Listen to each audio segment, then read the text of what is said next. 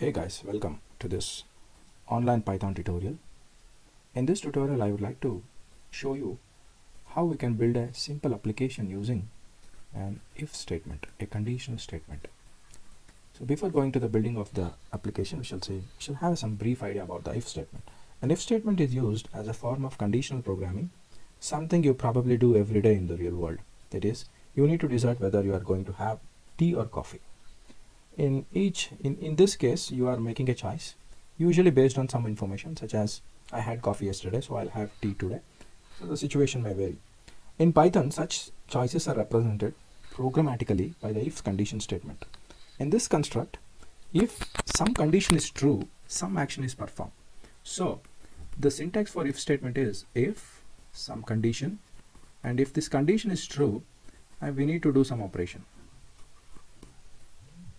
there is another version of if statement. If the condition is true we need to do one operation. And if it is not true we need to do other operation. If there are if there are many conditions if in some cases there may be several conditions you want to test with each condition being tested if the previous one failed then uh, something called elif statement will come to come to our rescue. The L, the else if statements that we dis, that we know from C or other programs, the else if statements is supported in Python by elif statements. So in this tutorial, I would like to build an application using this elif statements. So let us build, let us build a very simple application and we call it as a simple calculator. In this simple calculator, we shall try to do four operations, addition, subtraction, multiplication and division. The beauty of programming is it teaches you to think and in a good programmer will take the big problem, one big problem it takes and it divides into fragments and it takes each fragments one at a time, programs it neatly then he connect reconnects it to form a whole module. This is what a programmer does and this is one of the reasons why I like programming. Now let us break this problem building up a simple calculator into fragments. Or let us write uh, let us have a brief idea. Uh, if I write a flowchart then it becomes very simple for us to visualize how we can proceed through writing the program for a simple calculator First, let us give the choice for the user. One is addition, two is subtraction, three is multiplication, fourth is division, and fifth we shall exit from the program. Now we shall ask the user ask the user to enter to enter his choice to enter his or her choice now we should check whether the number the choice is between 1 and 4 if it is 1 and 5 let us say if it is 1 and 5 if it is s we shall if the choice is between 1 and 5 then we must know we will know that the user is either interested in the in one of these operations. If it is no that is if user let us say he types 7 then we must give give him an error message that is as wrong input. So if the choice is between 1 and 5 let us say if the choice is 1 if the choice is 1 what we have to do? If the choice is 1 then we'll ask the user to enter two numbers n1 and n2 and we perform addition of this and we'll put it in a variable n1 plus n2 and we print this result and get back to the main menu. If it is not 1 then we'll check for other numbers 2, 3, 4 and 5. If it is 5 then again we go back to the main menu. All the all these I've not written the details I hope it is fine you can manage with this and all this will will be similar to this block only So depending on this flowchart, we'll try to write the program in Python. So I am using PyCharm to write the program. I will start writing the program.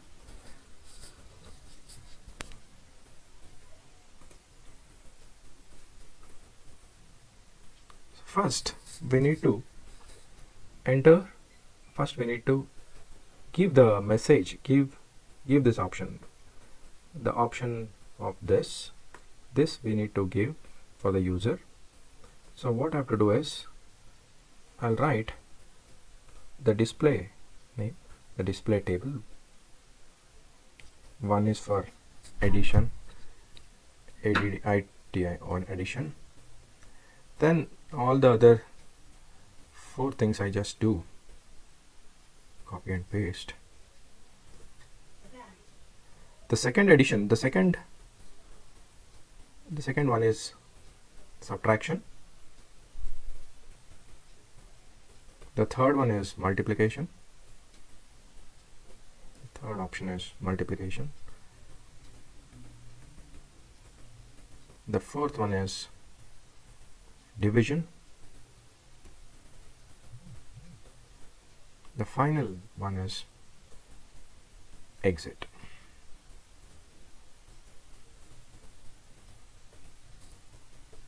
now we have to ask the user to enter his choice.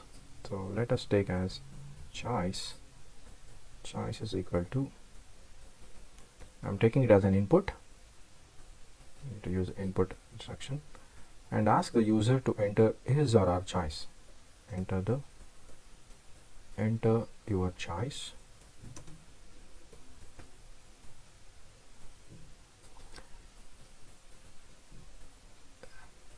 next next we have to come whether the choice is between 1 and 5 if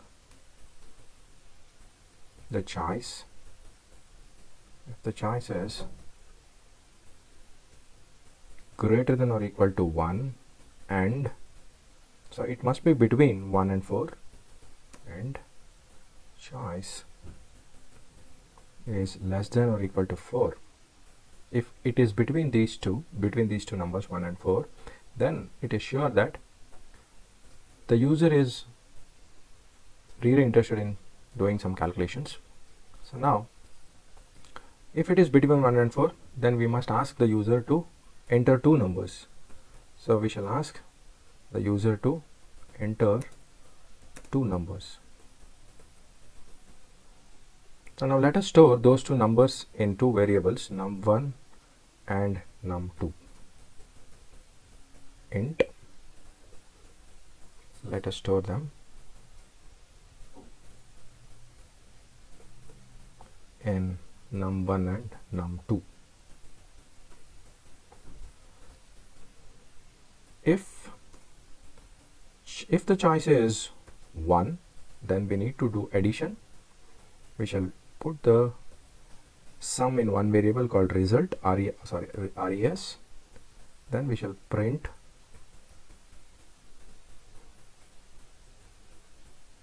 Print the sum.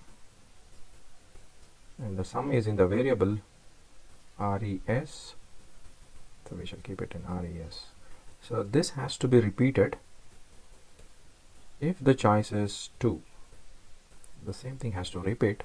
So let me copy and paste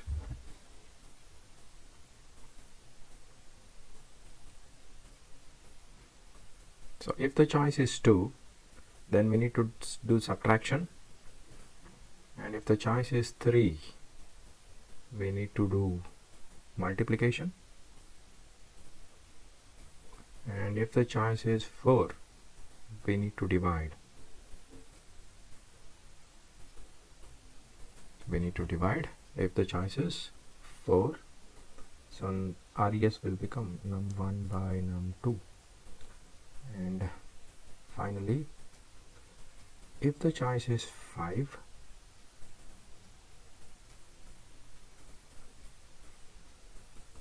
if the choice is 5 we need to exit.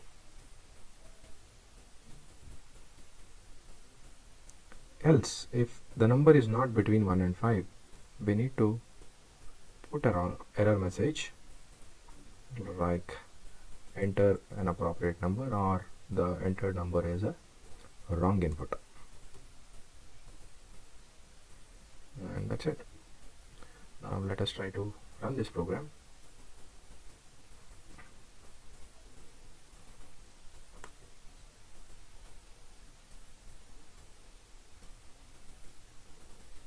Choice is 1 choice is 2 choice is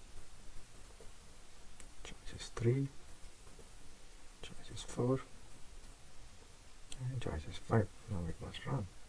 Must show no error now you can see here clearly it is asking for us to enter our choice. I'm um, interested in doing multiplication so I'll put 3 and enter it ask it, it is asking me to enter two numbers. I'll put 5 and 3 the result you can see is 15 here. The result is 15 and it is coming back to the main menu. Now I'll put some other number say it is the number which is not between 1 and 5 let us put 8 and it is showing me wrong input. Or it is going back to the main menu. And this is one of the very simplest thing. Building a calculator. Thank you so much and we I'll come back with some other application in the coming coming tutorial. Thank you